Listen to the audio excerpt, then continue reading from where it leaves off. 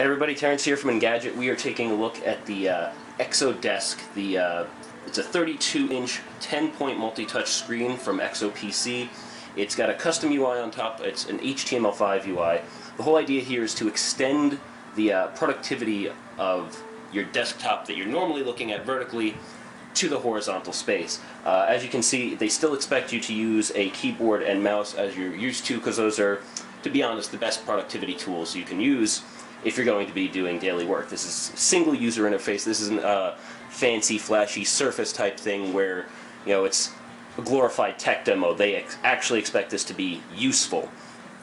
Uh, as you can see, you've got a little menu over here on the left-hand side. Although you can move it wherever you want, drag and drop it. Well, not really drag and drop, just drag. Tap it to open it and close it. And there's a variety of demo apps available. This here is the uh, book app, and as you can see, you can flip the pages, and it's just like using a book swipe. This is a uh, shortcut bar that they've created. Tapping it will launch websites you want. And if you want to close these apps, you've got two ways to do it. You can go and just re-tap on the icon in the shortcut bar, or you can swipe them off the screen.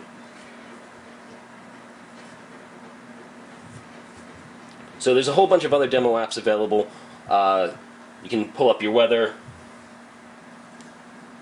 and if you want to go full screen, there's things like this, fun little keyboard demo. Now, there's an app store available. All of the apps are, of course, encoded in uh, HTML5, so it should be really easy for developers to get uh, started with this. Um, there's going to be an API coming out in uh, Q1 or Q2 of this year, and uh, they've partnered with ViewSonic for a developer kit that should be uh, out at the same time. So uh, that's it. That's pretty much your first look at the uh, ExoPC, our first hands-on with the ExoPC here. Thanks for watching.